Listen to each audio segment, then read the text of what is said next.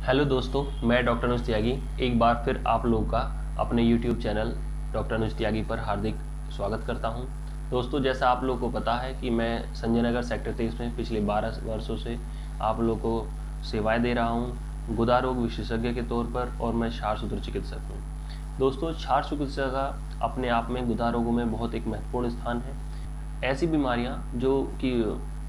Chronic हो जाती हैं या फिर लाइलाज हो जाती थी अब क्षार सूत्र चिकित्सा द्वारा भगंदर फिशर जैसी बार बार ऑपरेशन होने के बावजूद भी जो बीमारियाँ दोबारा से हो जाती थी, उनका भी इलाज अब संभव है। दोस्तों, मेरी, अगर आप ये मेरा पहला यूट्यूब चैनल पहली बार देख रहे हैं तो आप इसको सब्सक्राइब कर लें और इस वीडियो को ज़्यादातर लोगों के साथ में शेयर करें ताकि आप इस वीडियो इस वीडियो का फ़ायदा ज़्यादा से ज़्यादा लोग उठा सकें। दोस्तों, आज का जो हम जिस विषय पर बात करने जा रहे हैं, वो विषय है कि गुदा में जलन का होना क्या बीमारी उसमें हो सकती है? तो दोस्तों आइए आज हम शुरू करते हैं अपना ये इस टॉपिक को।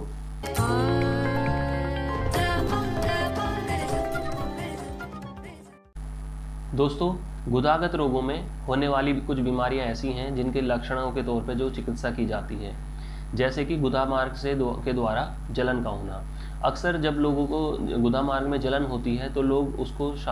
चुपचाप छुपा करके या फिर दवाइयाँ लेकर के उसे छुपा लेते हैं, जबकि उसमें या फिर एक मन में रहता है कि ये बवासीर हो गई है। दोस्तों, ऐसा नहीं है। आप अपने, अगर आपको गुदा मार्ग में जलन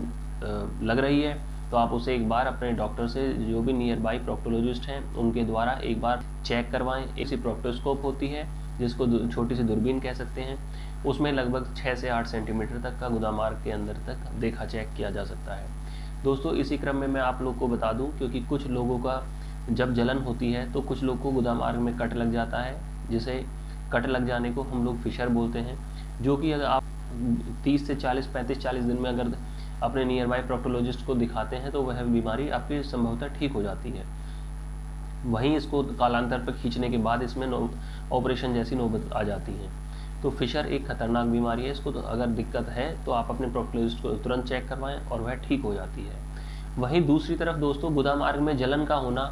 बार बार यदि आपको मल की प्रवृत्ति भी दिन भर में तीन से चार बार या छः बार जाने की है तो आपको लग रहा है कि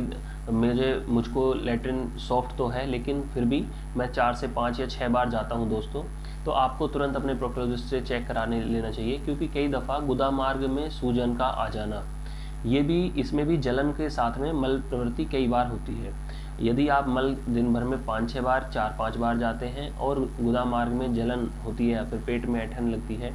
तो होता क्या है दोस्तों कि गुदा के मार्ग में आपको सूजन आ जाती है, जिसको हम लोग प्रोक्टोकोलाइटिस कहते हैं। इस प्रोक्टोकोलाइटिस के लिए हम लोग इस तरह से समझ सकते हैं कि जिस तरीके से मुँह में छाले हो जाना या मुख मुखपाक कहते हैं उसको मुखपाक इसी तरीके से गुदा मार्ग की तरफ़ जो है गुद गुदपाक हो जाता है। दोस्तों, मैं आप लोग को बता दूँ कि एक बहुत ही कॉमन चीज़, सभी लोग जानते हैं कि हम ज़्यादातर लोगों को जो हमारे खाने को पचाने वाली जो प्रक्रिया है, जो तेजाब या एसिड होती है, जब तक वो एक नियमित मात्रा में हमारे शरीर में है, तब तक वो खाने को पचाने, खाने को गलाने की काम करती है। लेकिन अगर वही अम्ल या वही एसिड बहुत ज़्यादा हो जाता है तो लोग उसे आम भाषा में तेजाब का या हाइपर एसिडिटी हमारी भाषा में कह देते हैं। दोस्तों, तेजाब का बनना अगर इसकी हाइपर एसिडिटी की वजह से जो फर्मेंटेशन है, अगर वो ऊपर की तरफ़ आपको मुख पाक की तरफ़ आती है तो उसमें मतलब मुख के द्वारा ज़्यादा डकारों का आना बार बार खाना तो ऐसे लोगों में पेट का साफ़ न रहते हुए उसके मुख में पाक हो जाता है, जिसको हम मुँह में छाले या स्टोमेटाइटिस मुख में छाले को बोलते हैं स्टोमेटाइटिस हो जाता है। अक्सर लोग फिर भी कहते हैं कि आपका पेट ठीक नहीं है, तेजाब ज़्यादा बनता है, इसलिए आपको मुँह में छाले आ गए हैं। दोस्तों, इस ऐसी स्थिति में जब आपको तेजाब ये गुदामार के द्वारा नीचे की तरफ़ जाने लग जाता है तो ऐसी स्थिति में वो गुदपाक करता है। क्योंकि हमारी जो मुँह से लेके, मुख से लेकर के ओरल कैविटी से लेके जो एनल कैनाल तक की जो म्यूकोजा होती है, वो सेम एक ही चीज़ से, एक ही म्यूकोजा म्यूकोजा से, एक ही मसल से बनी होती है, जिसके चलते ये आंतों की झिल्ली शुरू से लेके अंत तक एक ही होती है। और उसमें ऊपर की तरफ़ फर्मेंटेशन होता होता है तो मुखपाक कहलाता है और अगर गुदामार की तरफ़ आता है तो वो गुदपाक कहलाता है। दोस्तों, ऐसी स्थिति में आप अपने मल की प्रवृत्ति के कारण को ढूंढें कि आप दिन भर में कितनी बार क्यों जा रहे हैं। खट्टा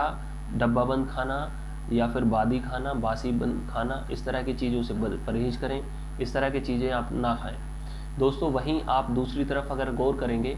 तो आपके इन सब परहेज करने के तौर पर आपको काफ़ी आराम मिलेगा। फिर आप अपने साथ में किसी भी, अपने प्रॉपर किसी डॉक्टर को दिखाते हुए आपकी जो मल की प्रवृत्ति कई दफ़ा जाने वाली है और आपका जो नेचर अब एसिडिक हो चुका है बॉडी का नेचर उसको थोड़ा सा एल्कलाइज़र की तरफ़ लेके चलें छार की तरफ़ लेके चलें।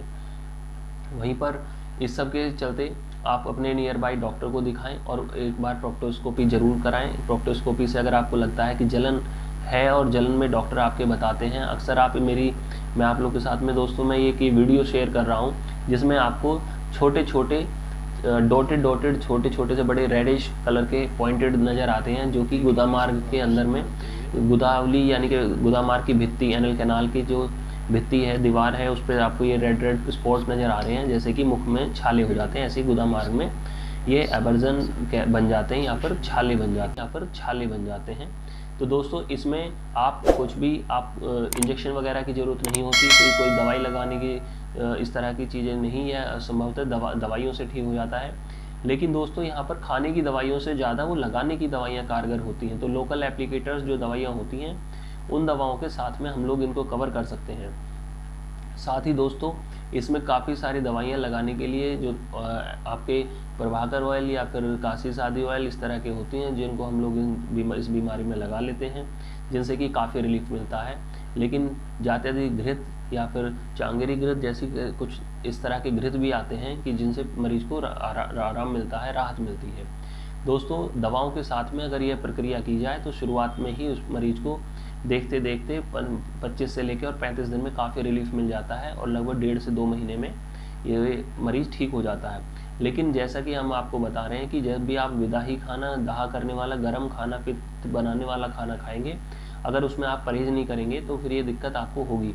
इसके तौर पे आप अपने डॉक्टर से सलाह लें और इसी के साथ दोस्तों मैं अपने शब्दों को विराम देते हुए आप लोगों को अगर हमारे ये वीडियो यूट्यूब चैनल अच्छा लगा हो तो दोस्तों, हमारे यूट्यूब चैनल को आप सब्सक्राइब कीजिएगा और हमारे इस टॉपिक को ज़्यादा से ज़्यादा दोस्तों के साथ अपने शेयर कीजिएगा। धन्यवाद थैंक यू